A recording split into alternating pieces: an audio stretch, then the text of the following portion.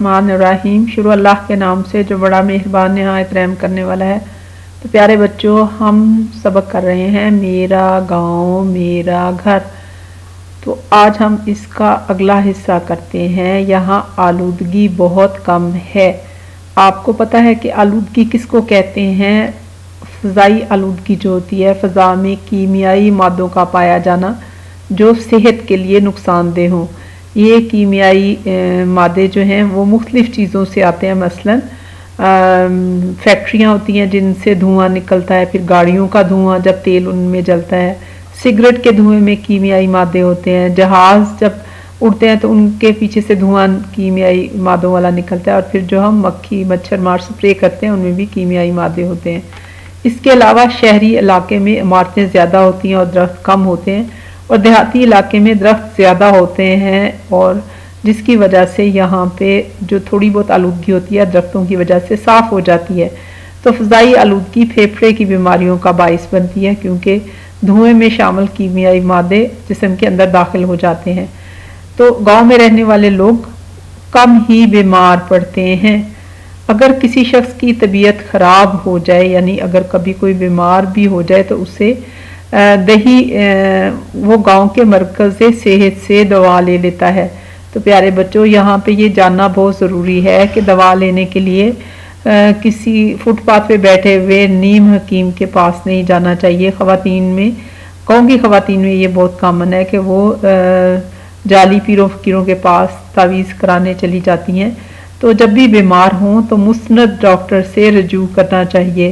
کیونکہ اللہ تعالیٰ قرآن مجید میں کہتے ہیں کہ کوئی بھی مصیبت اللہ کے حکم سے نازل ہوتی ہے اور جو شخص خدا پر ایمان لاتا ہے، وہ اس کے دل کو ہدایت سے دیتا ہے اور اللہ تعالیٰ ہر چیز سے باخبر ہے۔ اور پھر اللہ تعالیٰ نے کہا کہ قرآن شفا ہے اور یہ قرآن میں وہ اتارتے ہیں جو ایمان والوں کے لیے شفا اور رحمت ہے۔ تو اس لیے کسی پہ یہ شک نہیں کرنا چاہیے، کسی نے جادو کر دیا اور قرآن پڑھنا چاہیے۔ طبیعت زیادہ خراب ہونے کی صورت میں اسے شہر کے بڑے ہسپتال میں لے جاتے ہیں۔ یعنی اگر طبیعت زیادہ خراب ہو تو پھر چھوٹے ہسپتال کی بجائے بڑے ہاسپٹل میں جانا چاہیے۔ اور پھر اللہ، جو، جس کو تکلیف ہو اسے بھی صبر سے کام لینا چاہیے، کیونکہ اس سے گناہ اس طرح جھڑتے ہیں، جیسے درختوں کے پتے۔ اور یہ دعا پڑھنی چاہیے اے اللہ، مجھے بیماری لگی ہے، تو سب مہربانوں سے بڑھ کر مہربان ہے۔ جب کوئی بیمار ہوتا ہے، تو سب گاؤں والے اس کی تیمارداری اور عیادت کرتے ہیں۔ یہ بہت اچھی بات ہے کہ گاؤں والے تیمارداری اور عیادت کرتے ہیں، لیکن ہسپتال وہ جگہ ہوتی ہے جہاں پہ زیادہ بیمار مریضوں کا علاج کیا جاتا ہے۔ اس کے لیے گاؤں کے لوگوں کو چاہیے کہ وہ ہسپتال میں جانے سے پرہیز کریں اور جب مریض گھر آ جائے تو پھر اس کی عیادت اور تیمارداری کریں، کیونکہ ہسپتال میں مریضوں کے علاوہ ڈاکٹر، نرسیں اور دوسرا عملہ بھی ہوتا ہے۔ تو تیمارداری کے لیے اگر بہت زیادہ لوگ ہسپتال میں چلے جائیں تو اس سے ڈاکٹر اور جو مریض ہیں، اس کے لیے مشکلات کا باعث بنتے ہیں۔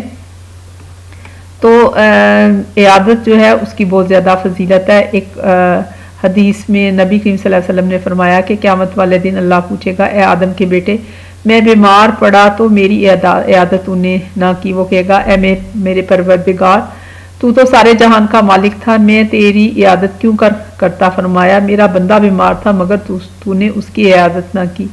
تو اس لیے پڑوسی اور عزت کارت کی عیادت کرنی چاہیے۔ پھر ایک اور حدیث میں آتا ہے کہ بیمار کرسی کی بہت زیادہ فضیلت ہے۔ اگر کوئی کسی کی عیادت کرنے جاتا ہے تو ستر ہزار فرشتے اس کے لیے دعائیں مغفرت کرتے ہیں اور اس کے لیے جنت میں ایک باغ بھی ہوگا۔ اور جس کی آپ عیادت کرنے جائیں اسے یہ دعا دیں یہ آپ یاد کر لیں اور جب بھی جائیں تو دیں۔ تو پیارے بچوں، آج کتاب پڑھنے والا کل کا لیڈر ہے۔ تو سب سے بہترین کتاب جو ہے وہ اللہ کی کتاب ہے، قرآن مجید۔ اس کو ترجمے کے ساتھ پڑھیں۔ تاکہ پتہ چلے کہ ہمارا کردار، ہمارا اخلاق کیسا ہونا چاہیے۔ اس زبان میں پڑھیں جس سے آپ کو سمجھ آتی ہو۔ اور دنیا کا بہترین لیڈر جو ہے وہ نبی کریم صلی اللہ علیہ وسلم ہے آپ صلی اللہ علیہ وسلم کی سیرت کو پڑھیں، احادیث کو پڑھیں اور اپنا ہر ہر عمل اپنے نبی کے عمل کے مطابق کریں۔ تو پیارے بچوں، امید ہے آج کا سبق آپ کو پسند آیا ہوگا۔ اس چینل کو سبسکرائب کریں اور اس ویڈیو کو لائک اور شیئر کریں۔